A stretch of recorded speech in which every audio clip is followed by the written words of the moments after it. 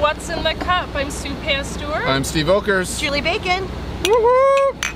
Cheers. Cheers. Yummy. Welcome again to Blue 35. We're at the rooftop deck. How many stories up are we? I Eight, think we're like, nine. are we? nine? Yeah. What? Yeah. We're nine Shut stories up. up. It's so pretty. Awesome. Like we should move. Like look Yeah, we so yeah. pretty. Look at downtown. Um, and we have been doing, we've been doing a series on grit.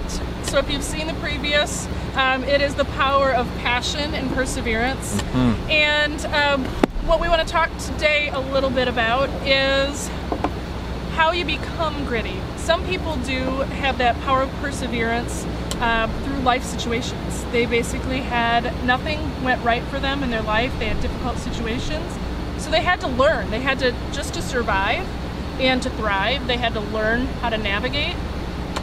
And then there's the other people that she describes, which she calls fragile perfects. And um, I hate that term, um, but I guess, you know, it was sort of like this idea that people think if they haven't had obstacles, how do the same people get just as gritty, want a goal just as bad? So that's what we're going to talk about. What's your What's your take on that? What's my take on that? Yeah, so it's it's always fascinating for me. Um, I'm doing a lot of interviewing of people that are thinking of becoming real estate agents, Yes. right? So they'll call and and they'll say, "Hey, I Steve, I got referred to you. I'm thinking of becoming a real estate agent." And I am looking for grit, right? Like that's what you look for. You know, there's a lot of companies that might grab anybody, but you, you want to look for somebody that has grit. And how do you determine that? Really, a lot of it does come from background and experience with whatever profession they're in.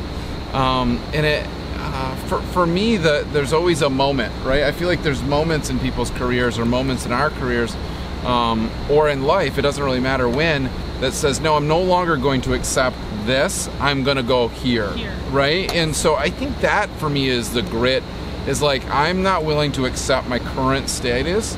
Um, I want to I want to advance myself to this next step, right?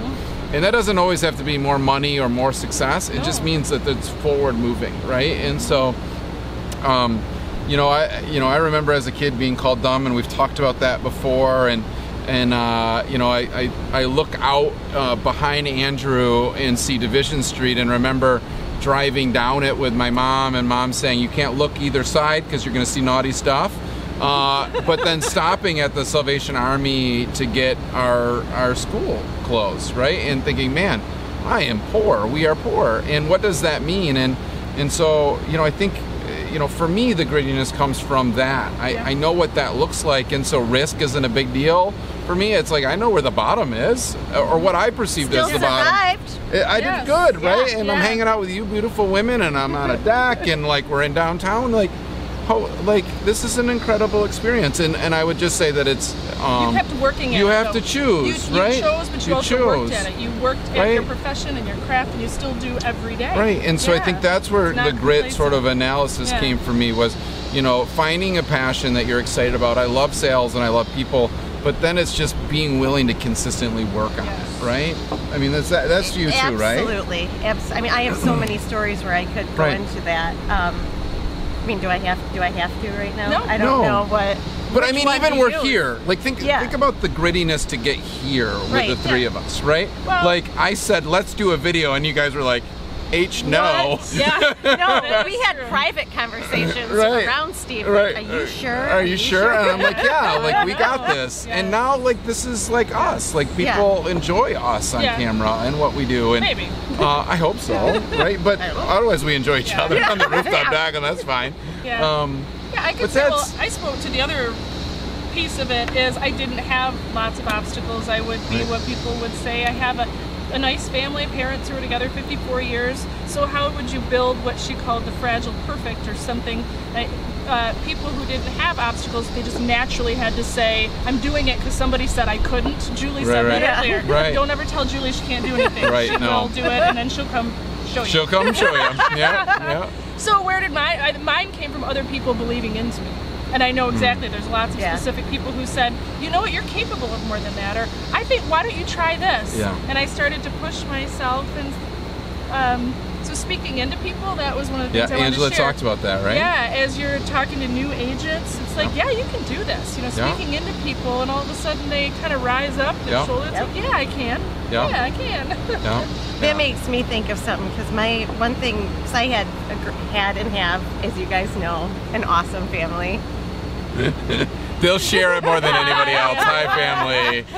But but my grandma once told me, Julie Christine, someday you're going to be the smartest woman on earth. And I was like, I was like, why? She's like, because you have to learn everything the hard way. so great. Amen. I, I like to um, make life difficult for myself sometimes. Yeah. Yeah. But I dig myself out of those holes. Yeah. And that is that's That is your grit. Yeah. I'm Steve Volkers. Sue Pastor. Julie Bacon. This is What's in the Cup. Thanks for following us. Charity group. One, two, three, four. Clap your hands. There's a bee, Andrew. It's Oh right there. gosh, Get him. he? Get your shoe. He's got the hat on too. This guy means Yeah. business.